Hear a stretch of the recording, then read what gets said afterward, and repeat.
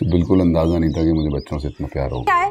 अभी तुमने मुझे ड्राइंग रूम साफ़ करवाया और अभी तुम्हें अपना कमरा याद आया आपके लिए कब से बड़ी बात बहुत शुक्रिया आपका। अब आप जा सकते हैं। हो गया मेरा दिल चल रहा है और इन्हें मिठाई बांटने की पड़ी वो हुई जानबूझकर मुझे पढ़ने नहीं दे रहा। अभी इसीलिए उसकी बात कही और सुनी जाती है।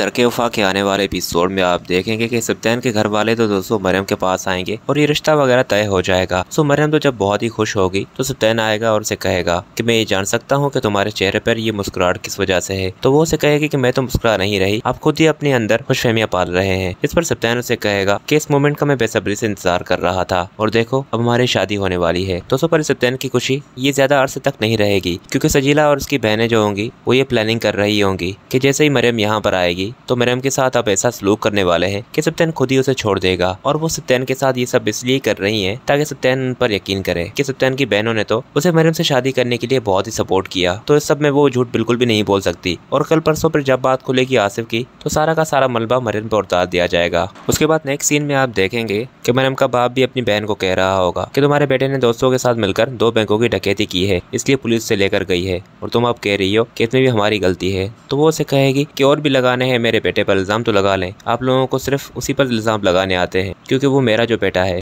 उसके बाद नेक्स्ट सीन में आप देखेंगे कि सप्तान की बहन की चालाकियों को कोई और नहीं बल्कि मरियम की माँ समझ जाएगी।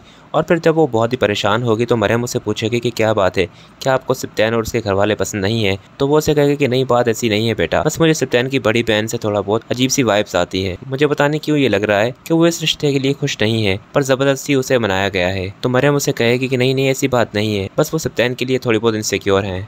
अगले सीन में आप देखेंगे कि नौशीन भी आएगी और सप्तान की बड़ी बहन को कहेगी कि आपने तो कहा था कि आप सप्तान की शादी मुझसे करेंगी? फिर क्या हुआ? आपने अपने इरादे बदल दिए। तो वो उसे कहेगी कि, तुमने मुझे इतना कच्चा खिलाड़ी समझा हुआ है क्या? तुम बस सब्र करो। फैसला तुम्हारे ही हक में होगा।